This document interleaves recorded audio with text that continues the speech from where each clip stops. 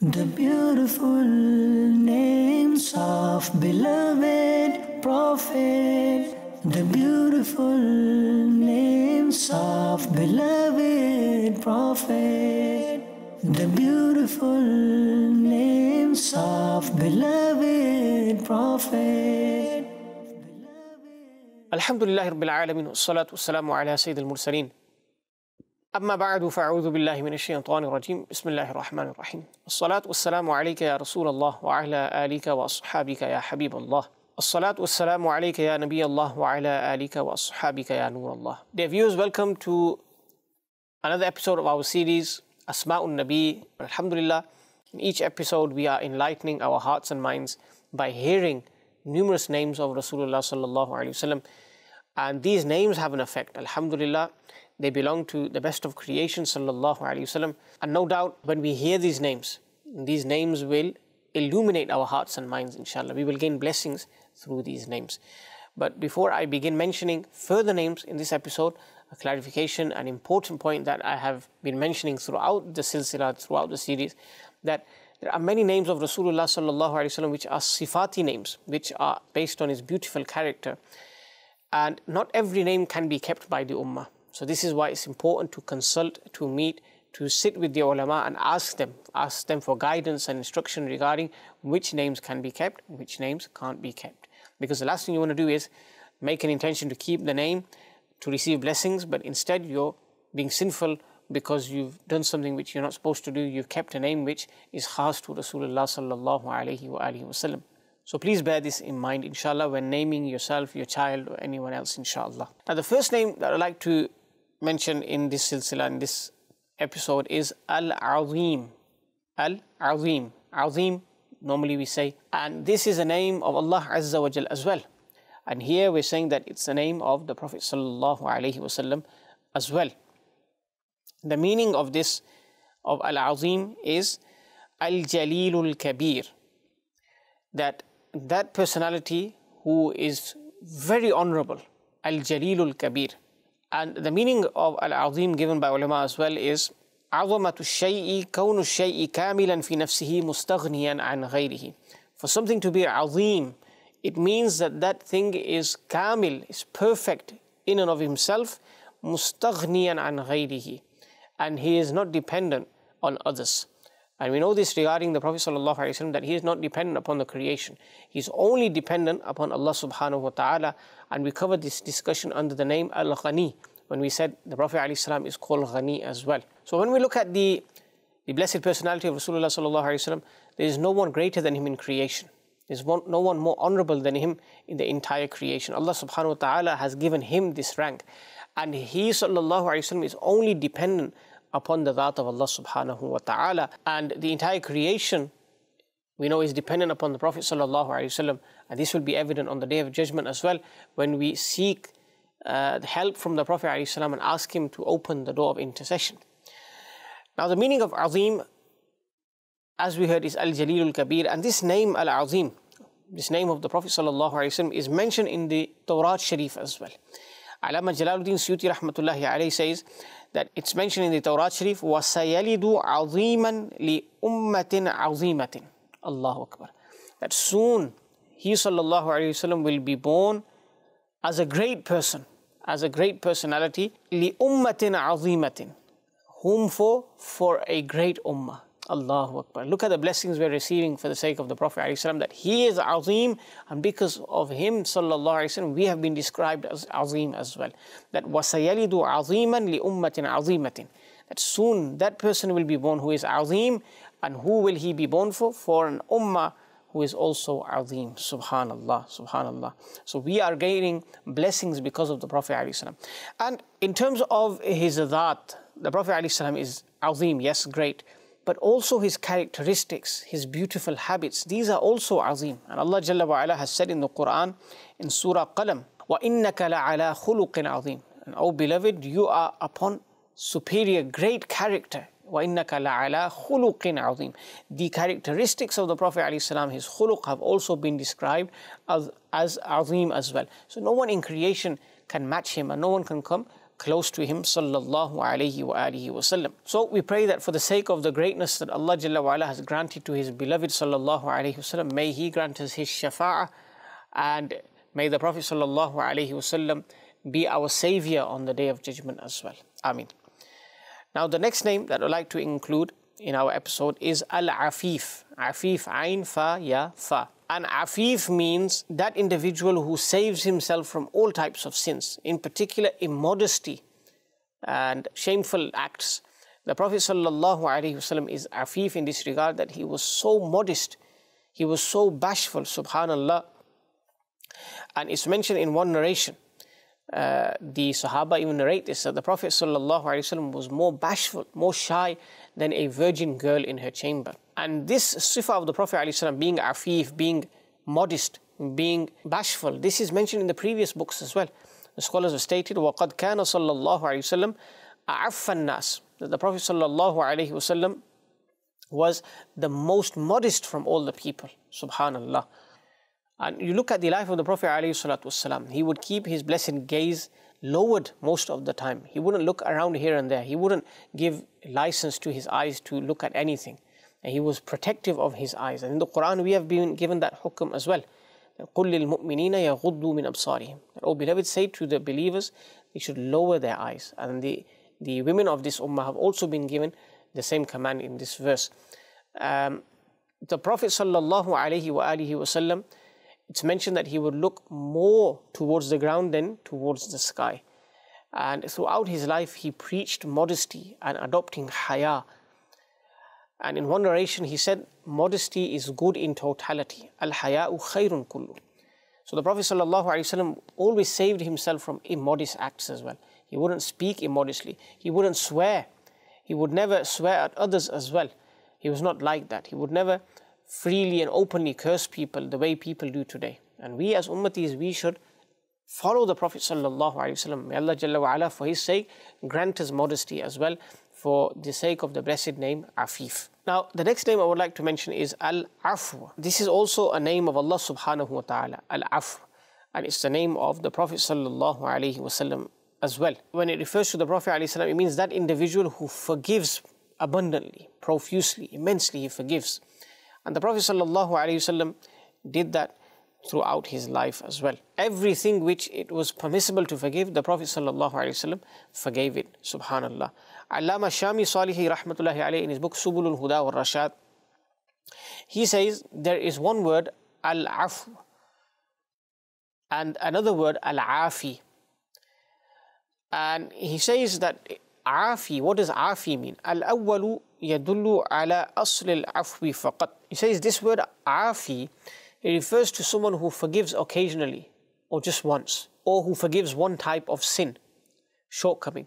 As for afu, that refers to forgiving continuously and forgiving all types of wrongdoings, all types of shortcomings and sins as well.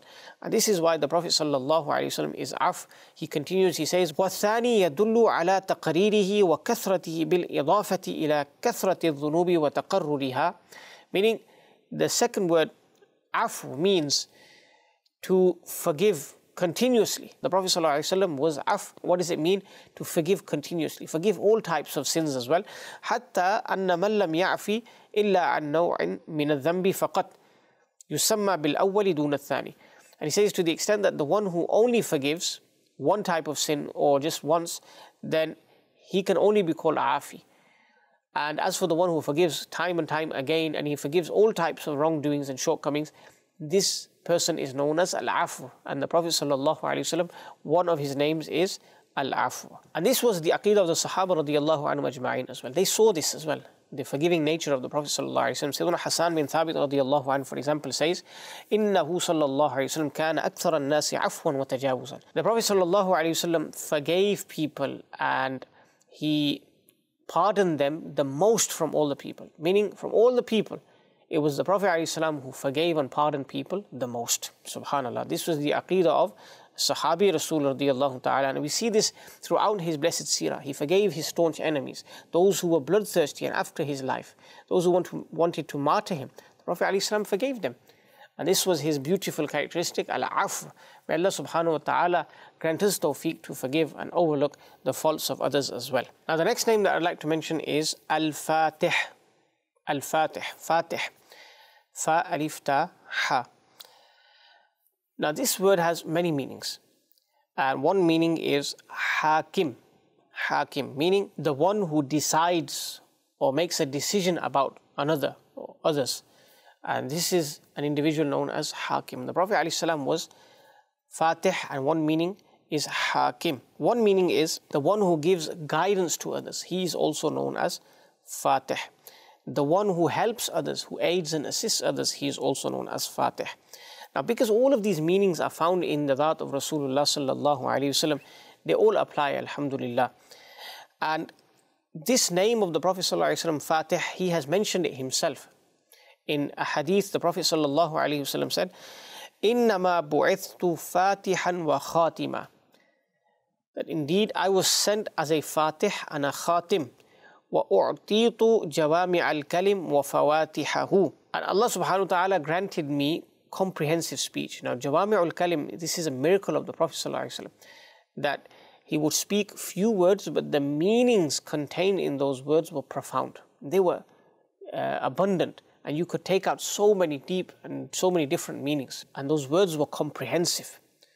So this was a miracle of the Prophet ﷺ that in a few words he would be able to explain so many things. Jawami'ul Kalim. The Prophet ﷺ said, I was given Jawami'ul Kalim. So in this hadith, you just heard the Prophet ﷺ said, I was sent as a Fatih. This is a name of the Prophet sallallahu alaihi wasallam.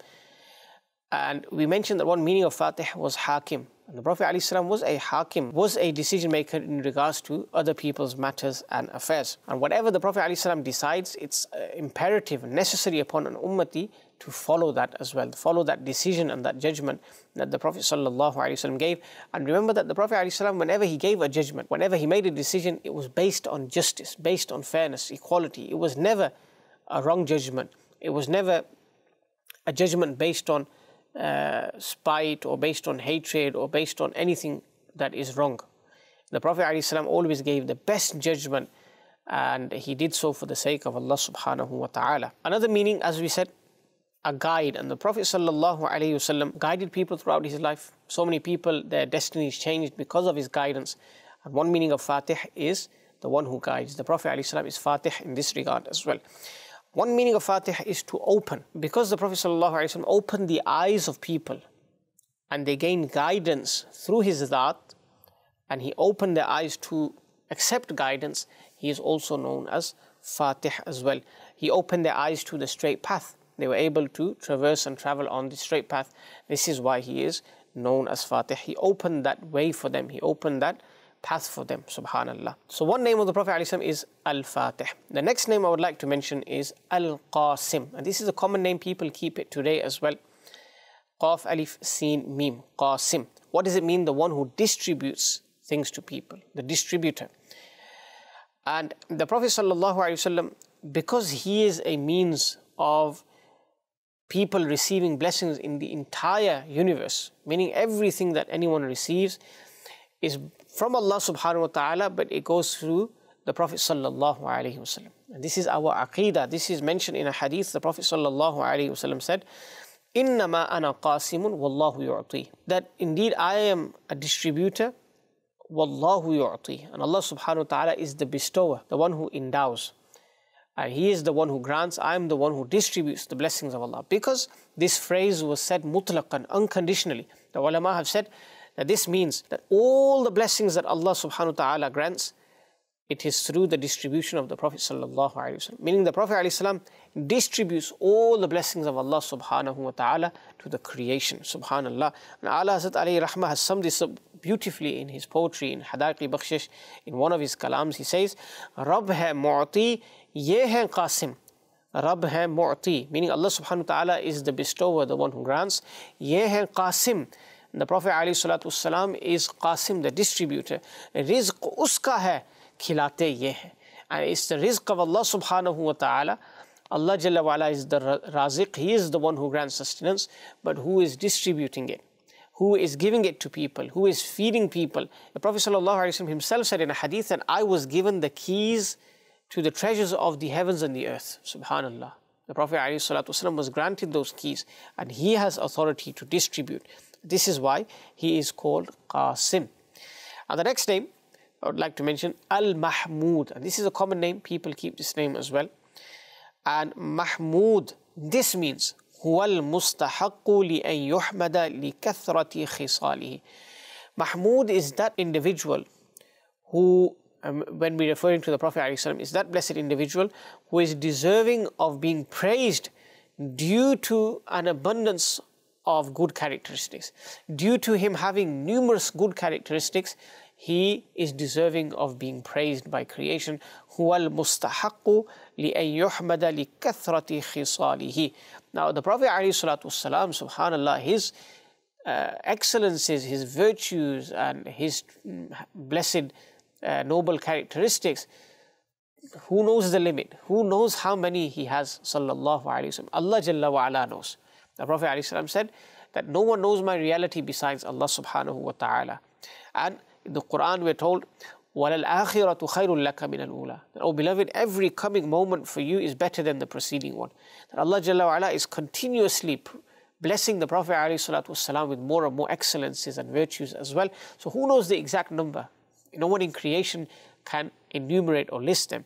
So the Prophet ﷺ, he has an abundance of good characteristics and virtues, and this is why he is deserving of being praised. هو المستحق لأن يحمد لكثرة خصاله. He is the one who is deserving of being praised. Why? Because of his kathratul khisal, because of his abundant uh, characteristics and virtues and excellences as well. And the ulama mentioned three different things regarding this name of the Prophet ﷺ, Mahmud. Sayyidina Abdul Muttalib radiallahu an has a couplet in which he said, Muhammadun wa huwa fit tawrati mahmudun. That the Prophet ﷺ, Prophet Muhammad, he is known as Mahmud in the Tawrat. And Qadi Iyad Maliki rahmatullahi alayhi, he says, Huwa ismuhu fi zabur that Mahmud is the name of the Prophet in Zabur. And Sayyidina Ibn Abbas radiallahu anhuma, he has mentioned Ismuhu fi sama'i Mahmud. His name in the heavens is Mahmud sallallahu alayhi wa sallam. So in these three places, we're told that the name of the Prophet ﷺ is Mahmud in the Torah, in the Zabur, and in the heavens as well. So these were three different points mentioned by the ulama. Now the next name that I'd like to mention is Al-Murtaja.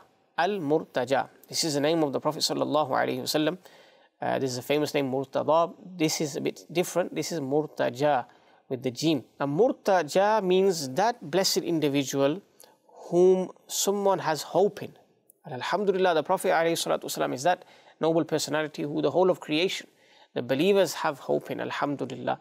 And we will benefit from having hope in Him, Sallallahu Alaihi Wasallam. We will gain His shafa'at, inshaAllah. And the ulama have mentioned after writing this name المرتجى لأنه الذي يرجوه الناس لكشف كروبهم وجلاء مصائبهم وأعظمها يوم القيامة في فصل القضاء Why is the Prophet ﷺ called Murtaja? Because the people have hope in his that. Why? They have hope that لِكَشْفِ كُرُوبِهِمْ He will remove their difficulties وَجَلَاءِ مَصَائِبِهِمْ And He will also distance them from their afflictions, their problems وَأَعْظَمِهَا يَوْمَ الْقِيَامَةِ فِي فَصْلِ الْقَضَاء and He will remove the greatest calamity that they will face on the day of judgment when uh, the judgment will take place. Subhanallah. This is why the Prophet ﷺ is called Murtaja. And we know from the famous narrations in Bukhari, Muslim, other books of hadith as well. On the day of judgment, people will go to one prophet, then another prophet, Sayyidina Adam alayhi salam, Sayyidina Ibrahim alayhi salam, Sayyidina Nuh alayhi salam. And finally they'll be told by Sayyidina Isa alayhi salam, go to the Prophet Muhammad sallallahu. He can help you today. And on that day of judgment, as we just heard, the Prophet ﷺ will remove our difficulties, our calamities, our worries, our concerns, inshallah. And we have full hope in His blessed Zat. And if someone does not have hope in His blessed Zat, then how is he going to attain blessings? How is he going to attain assistance? This is the time in this world, have full hope in the Prophet ﷺ. All eyes should be upon him. He is our savior in the court of Allah subhanahu wa ta'ala. He will grant us salvation from the hellfire and pray to Allah subhanahu wa ta'ala to have us admitted into paradise, inshaAllah. This is why the Prophet sallallahu alayhi wa sallam is known as Al-Murtaja. And some scholars have read this as Al-Murtaji, meaning with a kasra on the jim. And the meaning would be uh, that blessed individual which has hope that his shafa'at will be accepted in regards to his ummah. Qabul shafa'atin fi ummatihi. He has hope from Allah subhanahu wa ta'ala that his shafa'at will be accepted regarding his ummah. And the Prophet is that individual, is that blessed individual. And he has said that I will not be pleased until all of my ummah is in paradise. That those who are destined for hell, until they are taken out and entered into paradise, I will not be happy as well. So the Prophet is al-murtaji for this reason. So al-murtaja meant uh, that blessed individual in whom others have hope. And al-murtaji, the one himself has, who has hope in the court of Allah subhanahu wa ta'ala that he will intercede for his ummah and his intercession will be accepted. Alhamdulillah, this is our Prophet ﷺ. He did everything for us. The least we can do is try and please him. And how do we please him? On a very basic level, read your five daily salah, inshallah. The Prophet ﷺ said, إنما جعلت قرة عيني في الصلاة. The Prophet ﷺ said that Allah has placed the coolness of my eyes in salah. Provide coolness to the eyes of the Prophet ﷺ. Read the five daily salah. Please the Prophet ﷺ. Inshallah, you will gain an abundance of blessings from his noble court and his intercession on the day of judgment as well. May Allah Jalla wa grant us the blessings of these beautiful names of Rasulullah sallallahu alayhi wasallam. We will complete the episode now here. And until the next episode, may Allah protect and preserve you. Ameen. Bijahin Nabil Ameen. Sallallahu alayhi wasallam. The beautiful names of beloved Prophet. The beautiful names of beloved Prophet. The beautiful names of beloved Prophet.